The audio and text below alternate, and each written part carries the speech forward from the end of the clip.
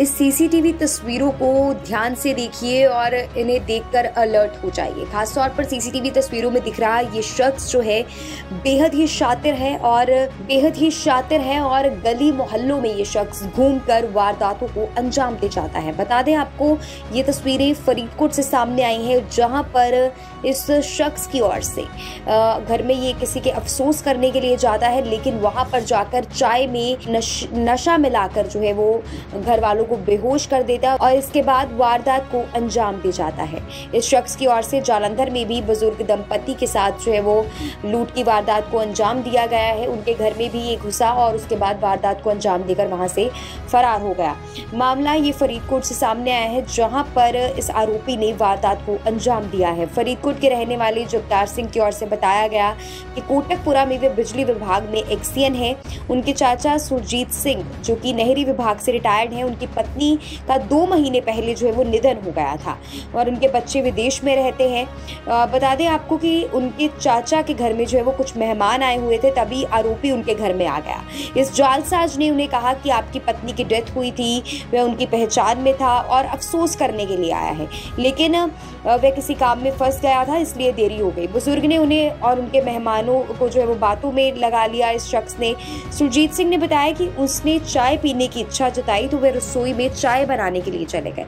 घर के अंदर सीसीटीवी कैमरा में ये आरोपी जो है वो पूरी तरह से कैद हुआ है और नशीली दवाई उस चाय में मिलाता हुआ दिखाई दे रहा है। वहीं आरोपी ने चाय पीते पीते इस शख्स को जो है वो बातों में लगाया, जिसके बाद बताया जा रहा है वो बेहोश हो गए और तकरीबन तकरीबन उनके घर से जो है नकदी और सोना जो है वो लेकर ये शख्स फरार हो जाता है, जिसके बाद अगले दिन जो है वो एक महिला उनके घर में आती है, जिसके बाद महिला की ओर से शोर मचाया जाता है तो इस पूरी वारदात का जब सीसीटीवी कैमरास चेक किए जाते हैं तो ये पूरे का पूरी जो वारदात है, वो सामने आती है। बेहद ही हैरानीजनक ये तस्वीरें शख्स की ओर से जालंधर में भी ठीक इसी तरह से घटना को जो है वो अंजाम दिया गया। बुज़ुर्गों को ये शख्स जो है वो टारगेट बनाता है, खासतौर पर मोहल्लों, इलाकों में घूमता है और देखता है कि आखिरकार कौन से घरों में बुज़ुर्ग जो है वो अकेले रहते हैं और फिर उनको ये निशाना बनाता है। बेहद ही हैरानीजनक सीसीटीवी तस्वीरें फरीदकोट से सामने आई हैं, आप भी डालिए इन तस्वीरों पर एक नज़र।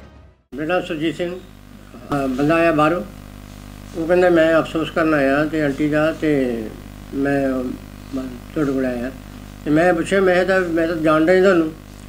ਉਹ ਕਹਿੰਦਾ, ਮੈਂ ਕਿਹਾ ਤੁਹਾਡਾ ਨਾਂ ਕੀ? ਕਹਿੰਦਾ, ਮੇਰਾ ਨਾਂ ਰਜੇਸ਼, ਮੈਂ ਕਿੱਥੋਂ ਆਇਆ? ਕਹਿੰਦਾ, ਮੈਂ 34 ਨੰਬਰ 'ਚੋਂ ਆਇਆ। ਆ ਕੇ ਇੱਥੇ ਬਹਿ ਗਿਆ, ਦੋ ਚਾਰ ਗੱਲਾਂ ਕੀਤੀਆਂ ਉਹਨੇ। ਉਹਨੇ ਉਹਨੂੰ ਪ੍ਰੈ- ਪ੍ਰੈਸ ਕੀਤਾ, ਉਹਨੂੰ ਚਾਹ ਪੀਣ ਲਈ ਵੀ ਹਾਲਾਂਕਿ ਉਹ ਪੀਂਦਾ ਨਹੀਂ ਚਾਹ ਸੀ। ਬ੍ਰਦਰ ਮੇਰਾ ਵੱਡਾ। ਚਾਹ ਪਾਉਂਦਾ ਉਹਦਾ ਉਹਨੂੰ ਪਾਸੇ ਵੱਡੇ ਬ੍ਰਦਰ ਨੂੰ ਕਹਿੰਦੇ ਤੂੰ ਪਾਸੇ ਹੋ ਜਾ। ਮੈਂ ਪਾਉਣਾ ਚਾਹ। ਉਹ ਚਾਹ ਪਾਉਣ ਲੱਗ ਗਿਆ ਤੇ ਉਹ ਜੋ ਚਾਹ ਪਾ ਗਿਆ ਉਹਨੂੰ ਪਾਸੇ ਕਰਤਾ। ਉਹਨੇ ਕੋਈ ਸ਼ੀਸ਼ੀ ਕੱਢੀ ਆਪਣੀ ਜੇਬ ਦੇ ਵਿੱਚੋਂ। ਸ਼ੀਸ਼ੀ ਕੱਢ ਕੇ ਛੇ ਕੀਤਾ, ਪਾਣੀ ਪਾਇਆ ਛੇ ਕੀਤਾ ਤੇ ਵਿੱਚ ਦੇ ਪਾ ਦਿੱਤਾ। ਦੋ ਵਾਰੀ ਉਹਨੇ ਪਾਣੀ ਪਾਇਆ ਉਹਦੇ ਵਿੱਚ, ਆਪਣੀ ਸ਼ੀਸ਼ੀ ਵਿੱਚ। ਉਹ ਪਾਣੀ ਪਾ ਕੇ ਇੱਕ ਕੱਪ ਉਹਨੂੰ ਫੜਾਤਾ। ਦੋ ਕੱਪ ਮੇਰੇ ਕੋਲ ਲਿਆ ਇੱਕ ਕੱਪ ਉਹਨੇ ਆਪ ਹੀ ਫੜ ਚੱਕ ਲਿਆ ਕੇ ਮੈਂ ਉਹਦੇ ਵਿੱਚੋਂ ਮੈਂ ਦੋ ਗੁੱਟ ਪੀਤੀਆਂ ਤਿੰਨ ਗੁੱਟ ਪੀਤੀਆਂ ਮੈਨੂੰ ਨਹੀਂ ਪਤਾ। ਉਹ ਮਤਲਬ ਪੀਂਦੇ ਪੀਂਦੇ ਮੈਂ ਇਹਦਾ ਉਹਦੇ ਬੇਹੋਸ਼ ਹੋ ਗਿਆ। ਤੇ ਉਹਨੇ ਉਸ ਤੋਂ ਬਾਅਦ ਮਤਲਬ ਮੈਂ ਉੱਥੇ ਬੇਹੋਸ਼ ਹੋ ਗਿਆ। ਮੇਰਾ ਵੱਡਾ ਬ੍ਰਦਰ ਉਹ ਇੱਥੇ ਬੈਠਾ ਸੀ, ਸੀਟ ਤੇ ਮੈਂ ਬੈਠਾ ਹੁਣ। ਉਹ ਇੱਥੇ ਲੁੱਟ ਗਿਆ। ਤੇ ਇਹ ਇਹਨਾਂ ਨੇ ਉਹਨੇ ਸਮ- ਆਪਣੇ ਲਮਾਰੀ ਦੇ ਵਿੱਚੋਂ ਪੈਸੇ ਵੀ ਸੀ। ਮਿਸਰ ਦੇ ਵੱਡਾ ਪਰਸ ਹੁੰਦਾ ਸੀ ਉਹ ਚ 15 20 ਕੁ ਹਜ਼ਾਰ ਰੁਪਏ ਹੁੰਦੇ ਸੀ।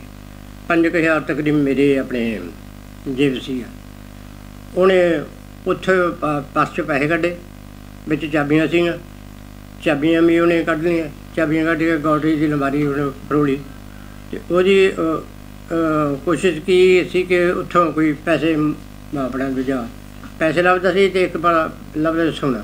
ਉਹਨੂੰ ਸੋਨਾ ਸਾਨਾ ਦਾ ਮਿਲਿਆ ਨਹੀਂ ਕਿਉਂਕਿ ਹੁਣ ਉਸ ਤੋਂ ਪਹਿਲਾਂ ਹੁਣ ਮੈਨੂੰ ਇਹ ਕਿਹਾ ਸੀ ਕਿ ਸੋਨੇ ਕੋਈ ਚੀਜ਼ ਲਿਆਓ।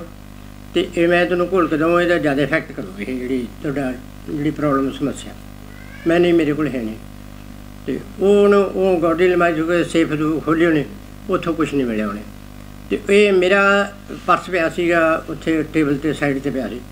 ਉਹਨੇ ਉਹ ਪਰਸ ਚੱਕਿਆ, ਉਹਦੇ ਵਿੱਚ ਏਟੀਐਮ ਸੀ, ਆਧਾਰ ਕਾਰਡ ਸੀਗਾ ਤੇ ਲਾਇਸੈਂਸ ਸੀਗਾ। ਉਹ ਚੋਂ ਆਧਾਰ ਕਾਰਡ ਤੇ ਏਟੀਐਮ ਕੱਢ ਕੇ ਲੈ ਗਿਆ।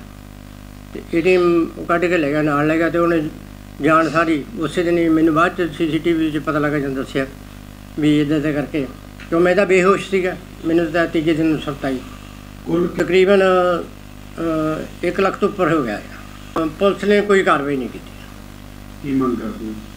ਮੰਗ ਤਾਂ ਕਹਿੰਦੇ ਬਸ ਬੰਦਾ ਫੜਿਆ ਜਾਣਾ ਇਹ ਕਾਰਵਾਈ ਹੋਣੀ ਚਾਹੀਦੀ ਹੈ ਤੇ ਸਾਨੂੰ ਇਨਸਾਫ ਮਿਲਣਾ ਚਾਹੀਦਾ। ਇਸ ਤਰ੍ਹਾਂ ਦੀ ਘਟਨਾ ਕਿਤੇ ਹੋਰ ਵੀ ਹੋਈ ਹੈ ਜਿਸ ਤਰ੍ਹਾਂ ਹਾਂ ਇਹ ਅਖਬਾਰ 'ਚ ਲੱਗੀ ਆ।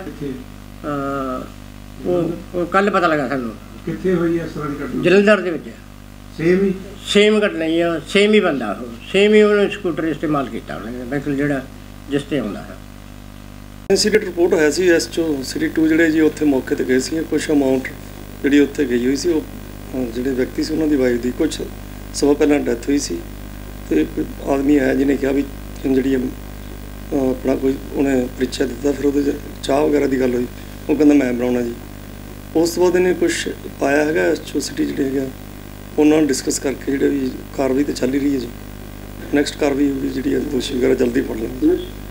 ਉਹਨਾਂ ਨੇ ਇਹ ਗੱਲ ਕਹੀ ਹੈ ਕਿ ਉਹਦੇ ਹਜੇ ਤੱਕ ਤਾਂ ਪੁਲਿਸ ਨੇ ਐਫ ਆਈ ਆਰ ਨਹੀਂ ਦਰਜ ਕੀਤੀ ਚੈੱਕ ਕਰ ਲੈਣੇ ਜੀ ਆਪਣਾ ਪੁਲਿਸ ਤਾਂ ਗਈ ਸੀ ਤਾਂ ਚੈੱਕ ਕਰ ਲੈਣੇ ਜੀ। ਇੱਕ ਨਾਲ ਉਹਨਾਂ ਨੇ ਇਹ ਵੀ ਗੱਲ ਕਹੀ ਹੈ ਕਿ ਜੇਕਰ ਪੁਲਿਸ ਵੱਲੋਂ ਕਾਰਵਾਈ ਕੀਤੀ ਹੁੰਦੀ ਹੋ ਸਕਦਾ ਹੁਣ ਜਲੰਧਰ ਦੇ ਵਿੱਚ ਉਸੇ ਵਿਅਕਤੀ ਨੇ ਜਾ ਕੇ ਇਹ ਘਟਨਾ ਨੂੰ ਅੰਜਾਮ ਦਿੱਤਾ ਤੇ ਇਹ ਘਟਨਾ ਨਾ ਵਾਪਰਦੀ ਉਹ ਜਲੰਧਰ ਵਾਲੇ ਆਇਡੈਂਟੀਫਾਈਡ ਤਾਂ ਜੇ ਨਹੀਂ ਹੈਗੇ ਪਰ ਹੋ ਸਕਦਾ ਹੁੰਦਾ ਕਈ ਵਾਰ ਜੀ ਉਹੀ ਵਿਅਕਤੀ ਹੋਣ ਕਿਉਂਕਿ ਜਦ ਸੇਮ ਮੋਟਰ ਸਪਰੰਡੀ 'ਚ ਕੋਈ ਵਾਰਦਾਤ ਹੁੰਦੀ ਆ। ਤਾਂ ਕੋਈ ਗੱਲ ਨਹੀਂ ਇਹਨੂੰ ਜਲਦੀ ਜੀ ਆਪਾਂ ਕਾਰਵਾਈ ਕਰਕੇ ਤੇ ਜਿਹੜਾ ਨਿਆਂ ਦਿਵਾਵਾਂਗੇ ਦੋਸ਼ੀ ਨਹੀਂ ਨਹੀਂ ਜੱਜ ਜੀ ਇਸ 'ਚੋਂ ਜਿਹੜੇ ਐਕਚੁਅਲੀ ਹਾਈ ਕੋਰਟ ਗਏ ਮੈਂ ਫੋਨ ਤਾਂ ਪਹਿਲੇ ਲਾਇਆ ਸੀ। ਜਦੋਂ ਵਾਪਸੀ ਉਹਨਾਂ ਨੂੰ ਡਿਸਕਸ ਕਰਕੇ ਜਿਹੜੀ ਉਹਦੀ ਕਾਰਵਾਈ ਪ੍ਰੋਪਰ ਕੀਤੀ ਹੋਵੇ